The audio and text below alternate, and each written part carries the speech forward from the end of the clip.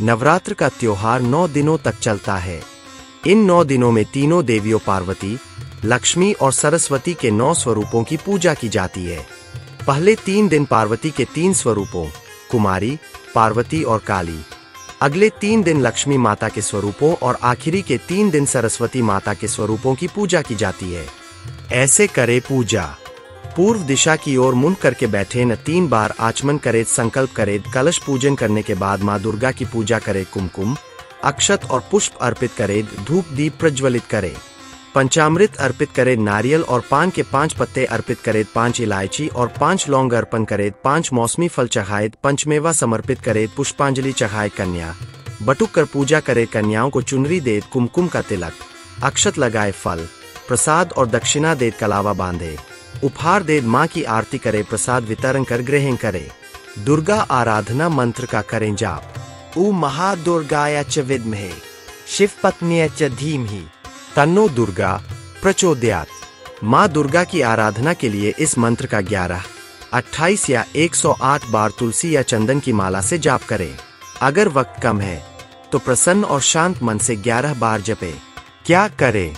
रंगोली अल्पना बनाए आम्र पत्रों का वंदनवार बनाए मुख्य द्वार पर घी के दीपक जलाए सपरिवार आरती करे प्रसाद वितरण करे भोग लगाए भजन गाए स्तुति करे और कथा सुने पवित्रता बनाए रखे स्वच्छता का ध्यान रखे प्रसन्न रहें मर्यादा में रहें कुछ समय मौन रखें आहार विहार में संयम रखें क्या न करे दिन में न सोए किसी के काम की निंदा न करे किसी का अपमान न करे किसी को भोजन कराए बिना भोजन न करे सीमा का उल्लंघन करे किसी का दिल न दुखाए, चिंता न करे।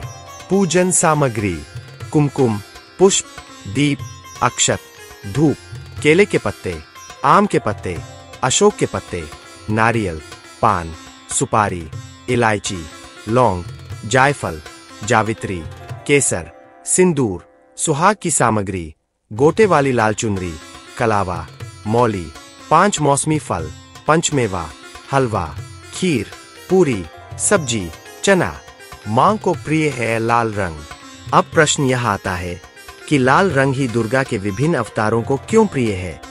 वास्तव में नवग्रहों में लाल रंग सबसे प्रखर और ऊर्जा से भरपूर रंग है। लाल रंग का प्रतीक ग्रह मंगल होता है।